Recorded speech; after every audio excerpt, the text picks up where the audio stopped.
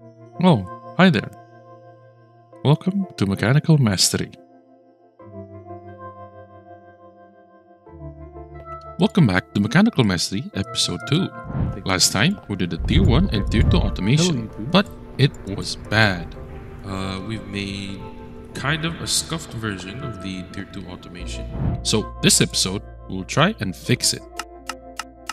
Okay, this is my attempt at redesigning the Tier 1 automation, but this does not work. It still overflows. Before I tear this down, let me explain a bit on how this machine works. Essentially, we have all our EMC links back here feeding ores into a row of redstone furnaces. If you look from up here, these are basically modules, as you can see. That module is processing the aluminum. It's turning it into gears right here. And this module is processing the iron. Why four redstone furnaces? Because it takes four ores or four ingots to make one gear. And this tiny module is the rod uh, production line. We only have one redstone furnace because it only takes one ingot to make two rods. As to not um, have an excess of rods. As you can see, we have an excess of rods right now. We got our sequential fabricator, the auto crafter here, which leads into three multi-servo presses that processes the essence and turn them into crystals. But this does not work, it still overflows. So we're gonna redo this right now.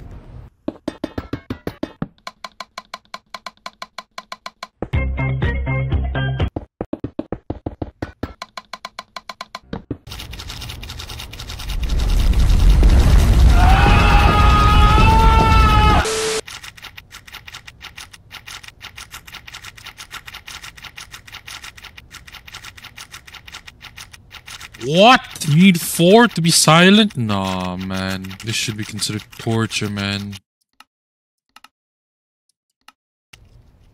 Okay. So, this is the newly improved um, Tier 1 automation production line. Um, it's the same as before. The only difference is we beefed up the um, aluminum and iron production line. So we have seven furnaces feeding into um, two uh, multi-servo press, sorry. And the other difference is we have uh, buffer barrels or drawers here. So each output, we have one drawer to store it before we move it. So we have our aluminum drawer here, which is then um, fed into the multi-servo press. We have our iron drawer here, which is then fed into the multi-servo press from below, as you can see. And then we also store the gears in barrels before we feed it into the sequential fabricator. Now, um, we do have a problem with the copper rods though. This is the copper rod production line. It's still the same as before. We have two furnaces and one multi-servo press. The problem is this is either too fast or too slow. If only one furnace is working, it's too slow. If there's two furnaces working, it's too fast. It's gonna produce more than we're needed. So like right now, um, it's only one furnace is running right now. Only one furnace is running. I turn this off. So if I turn this back on, eventually the copper rods will, will overflow the production line and it'll get stuck. So we need to sort that problem out somehow. Um, but yeah, right now this is what we got with the tier 1 production line. Um, everything is fed into a sequential fabricator, making the basic kind of essences, and then that is fed into our three multi-servo press, um, processing it to become the crystals and fed into a EMC link. And then we have the um, excess here, which we will use for our tier 2 production line down the road.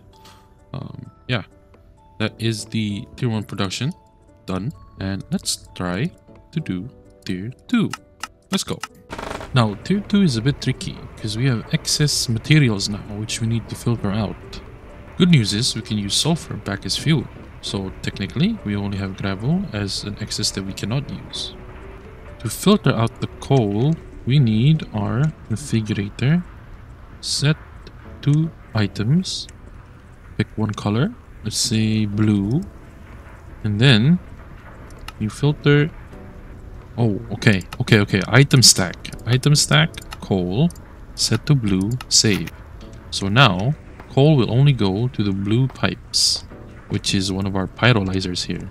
Let's set the single stack to on since we want to distribute all the coal into these pyrolyzers evenly.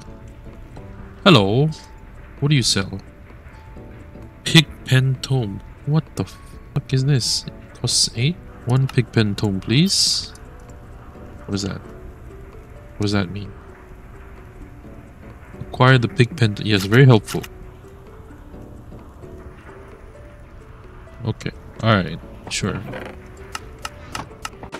So, this is one module of the steel production. I need to make three of these modules in order to have the same rate as the um, Invar gear production. So, prepare yourself for some math. Here we go.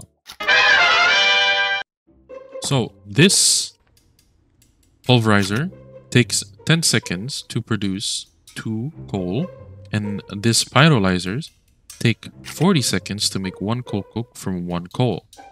So it takes 40 seconds to make 8 coal coke. Right? Stay with me. So, this one pulverizer, because it's making 2 coal per 10 seconds, it can feed um, 8 pyrolyzers. Right? So, with 8 pyrolyzers, we have a rate of 8 coal coke per 40 seconds which is then fed into the induction smelter, right? The induction smelter takes 10 seconds to make one steel, and it consumes one coal coke. That means 4 pyrolyzers can feed one induction smelter because it takes 40 seconds for one pyrolyzer to produce one coal coke and it takes uh, 10 seconds for one induction smelter to take one coal coke and turn it into steel. You following? You you left you get it?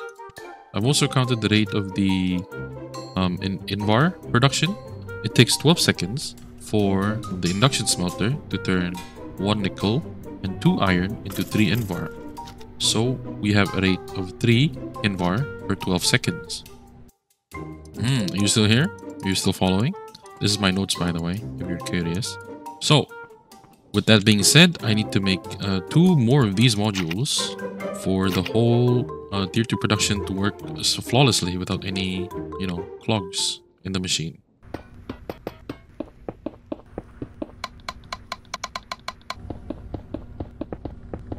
No, don't do it. Don't do it.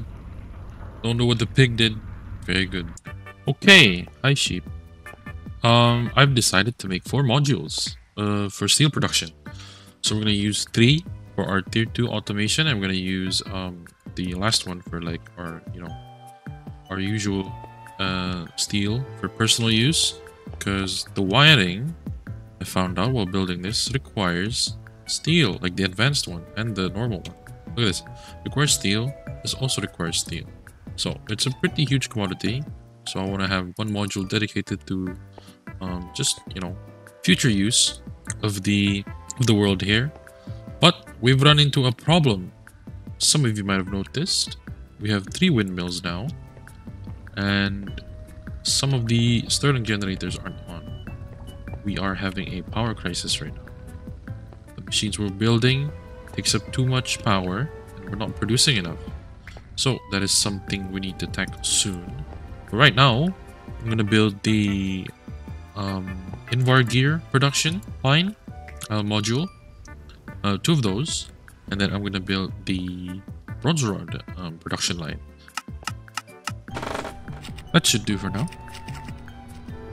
Behold, the steel production line, how it works is still the same as before. We have the pulverizer um, getting fed the coal from this basic EMC link, and after the coal is processed, it is shot out into our pyrolyzers. The pyrolyzers will convert the coal into coal coke and get sent to our drawers.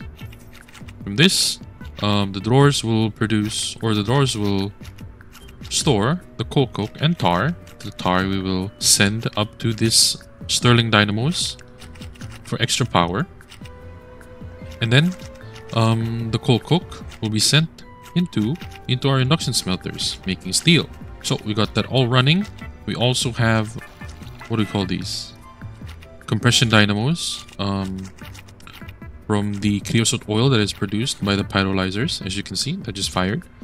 and now it's making extra power you know. We need to get all the power we can because this takes a lot of power. And i think we still have excess tar right now seven stacks. I don't know why it's not firing maybe because it's full.